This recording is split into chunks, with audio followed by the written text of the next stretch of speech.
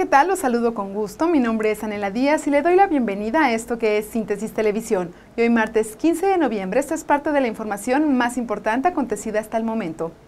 Indemnizan a defraudados de cajas de ahorro. Grandes retos enfrenta Gabino Cue, señalan oaxaqueños. Profesores y ambulantes se apostan en el Zócalo. Mantiene Cue estrecha relación con Magisterio. Luego de 11 años de espera, el gobierno del estado indemnizó a defraudados de cajas de ahorro con un 70% del dinero perdido. A continuación los detalles. Con una inversión de 309 millones de pesos, defraudados de las cajas de ahorros Acriputla, Casandó, Nuevo Milenio y Cofía, que integran el Frente Único de Ahorradores Defraudados, recibieron cheques por parte del gobierno estatal, con lo que les fue devuelto el 70% de ahorros perdidos. El dinero correspondiente estaba disponible desde hace dos años, sin embargo, el entonces gobierno lo mantenía en el banco generando intereses y no fue entregado con oportunidad a las 12.000 familias estafadas. El mandatario estatal Gabino Cue solicitó a las personas registrarse en el padrón de pago para que puedan realizar el trámite necesario y pidió tener cuidado con el recurso otorgado a fin de no depositarlo nuevamente en cajas de ahorro fantasma. Una situación de enorme complejidad por tratarse de personas humildes cuyas condiciones de exclusión a los servicios financieros de la banca comercial los orillaron a recurrir a este tipo de instituciones de gran fragilidad financiera o de dolosa, o de eh, origen y procedencia. Por su parte, la representante de las familias defraudadas por cajas de ahorro en Santiago Jamiltepec, Sotera Alejandra García Reyes, quien ha encabezado la lucha de este sector desde el año 2000, informó que durante estos 11 años muchos de sus compañeros desistieron, por lo que no podrán recuperar su dinero robado. Sin embargo, ella siempre tuvo fe en que el cambio se cumpliría con la llegada de Gavino Cue al gobierno. Pero nosotros no la hemos perdido y no la perdimos y prueba de que confiamos en el buen corazón del señor gobernador y nos cumplió porque nosotros sabíamos desde antes que él sí nos iba a cumplir. Para Síntesis Televisión, Paulina Córdoba. A propósito del primer informe de gobierno y para conocer cómo califica la sociedad oaxaqueña el desempeño del gobernador del estado, Gabino Cue Montagudo, a un año de la transición democrática, le presento el siguiente sondeo. A unas horas que el mandatario estatal Gabino Cue rinda su primer informe de gobierno, la ciudadanía considera que su administración se enfrenta a grandes retos, pues es imposible cambiar de la noche a la mañana el daño que gobiernos anteriores han realizado al pueblo oaxaqueño. Bueno, me parece que el señor Gabino Cue ha sido un buen hombre en primer lugar y está luchando con todo lo que puede. Él tiene buenas intenciones porque quisiera limpiar todo lo que está mal hecho. Pero es muy difícil acabar con esos demonios de un momento a otro, porque son problemas muy a fondo, ¿sí? De muchos años atrás. Realizando un balance general, la ciudadanía coincidió que un año es poco tiempo para comenzar a ver cambios, sin embargo, están sentadas las bases para alcanzar una verdadera transición democrática. Sí, le queda mucho que hacer al pobre señor Gavino como le digo, pues todas las, las fechorías, digo yo, que le dejaron, principalmente Ulises. ¿sí? Hay gente que por cualquier cosa está quejando. Oaxaca es una ciudad donde el que no quiere no grita, ¿no? Pero pues y hay que pensar que también eso pues no nos lleva a nada, ¿no? Y la gente que grita y, que se manifiesta, pues ojalá que lo que se pusieran eh, también del otro lado y trabajaran, ¿no? Porque no nada más es pedir, sino también hay que saber quedar. Para Síntesis Televisión, Paulina Córdoba. Les recuerdo que pueden mantenerse informado a través de www.síntesis.mx diagonal Oaxaca. Así también lo invito a consultar nuestro semanario que ya circula en toda la capital. Es momento de hacer un corte comercial y volvemos con más información. Me comprometí a impulsar la economía y generar mayor inversión para el bienestar de los oaxaqueños y te cumplí. Con el Fondo Oaxaca y otros programas, más de mil pequeñas y medianas empresas oaxaqueñas accedieron a créditos preferenciales por mil millones de pesos para diversos tipos de apoyo. De igual manera, despertamos gran confianza en nuevos inversionistas que muy pronto invertirán aquí. Con estas acciones, por primera vez nos colocamos en los primeros lugares a nivel nacional en la creación de empleo. Primer informe de gobierno, generando bienestar. Con 19 años en México, el proyecto Síntesis cumple su primer aniversario en Oaxaca y lo festeja ofreciendo la mayor calidad en información a través de sus tres canales de comunicación. Síntesis Semanario. Por segundo año consecutivo, Síntesis es reconocido por la Society for News Design debido a su innovación y diseño. Síntesis en línea. La inmediatez y eficacia que las nuevas formas de comunicación requieren con información minuto a minuto. Síntesis Televisión. La mejor alternativa de la información más importante generada día a día.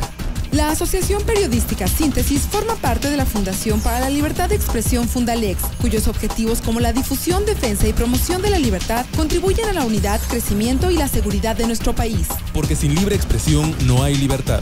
En Oaxaca la labor continúa. Estamos preparados para los nuevos retos. Síntesis Oaxaca. Me comprometí a que los oaxaqueños que más lo necesitan tendrían apoyos de mi gobierno y te cumplí. Más de un millón de personas tienen acceso a programas de asistencia que mejoran su calidad de vida. Por primera vez en Oaxaca se otorgan pensiones alimentarias a los más vulnerables, becas para concluir los estudios universitarios, uniformes y útiles escolares gratuitos y tratamientos médicos contra el papiloma. Así, con el esfuerzo de todos, instalamos este año 2.200 cocinas comunitarias en zonas apartadas, garantizando una mejor nutrición para nuestros niños. Primer informe de gobierno, generando bienestar. Síntesis Oaxaca abre sus canales de difusión para que puedas darte a conocer. Síntesis en línea. Síntesis Televisión. Síntesis Semanario. Anúnciate con nosotros y descubre nuevas oportunidades para tu negocio.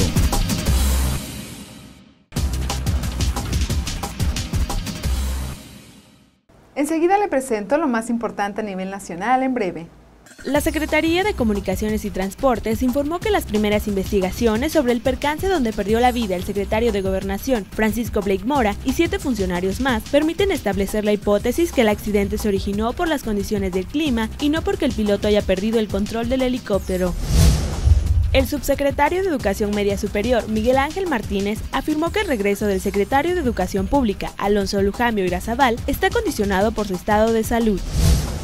El aspirante a la presidencia de la República, Marcelo Obrar, dijo que será vital que exista unidad en las decisiones que se tomen sobre quién será el candidato de la izquierda a la presidencia de la República. El presidente de la Suprema Corte de Justicia de la Nación, Juan Silva Mesa, aseguró que al fortalecer las acciones de protección civil se cumple con el mandato constitucional de proteger y promover los derechos humanos. Profesores de la sección 22 del CENTE instalaron una mesa de denuncia al exterior del Palacio de Gobierno para exigir cumplimiento a su pliego petitorio, en el cual resalta la presentación con vida de los profesores Carlos René Román Salazar y Guadalupe Hernández. La gremial anunció que en el marco del primer informe de actividades del gobernador del estado, Gabino Cue, hoy realizarán una marcha que partirá de los cuatro puntos de la capital, Crucero de Cinco Señores, Yepo, Viguera y Jojo, que contará con la participación de diversas organizaciones sociales y comerciales.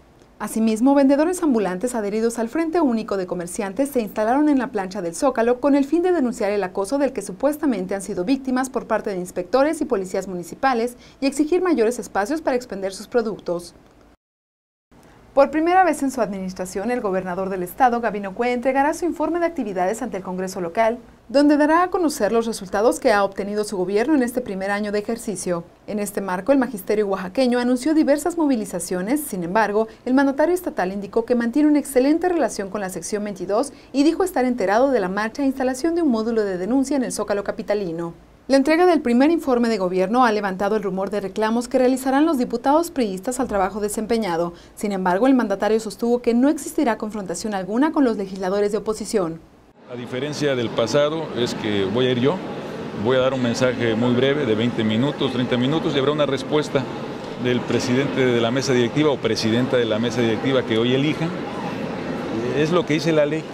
Este, ya después, si modificamos la ley, podemos entrar a otro tipo de diálogo. Pero yo tengo muy buena relación con las diputadas y diputados de todos los partidos que me acompañaron en la alianza y con los compañeros del PRI no tengo ninguna, ningún problema con ellos, ni ellos Más de 1.100 alumnos de Santa Cruz Jojocotlán que cursan preescolar y primaria recibieron un par de zapatos como parte del programa Gratitud, con el que se busca abatir los índices de rezago social y coadyuvar al desarrollo infantil.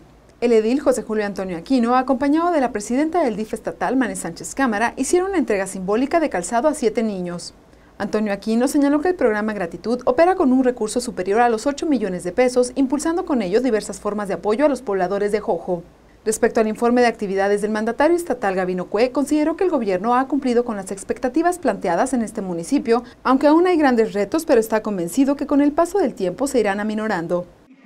Estamos atendiendo, como lo decía hace un rato, no una acción de carácter popular, sino una acción de resultados que impacta de manera directa en el tema central que libera a los pueblos, que es la educación. Es momento de hacer un corte comercial y volvemos con más información.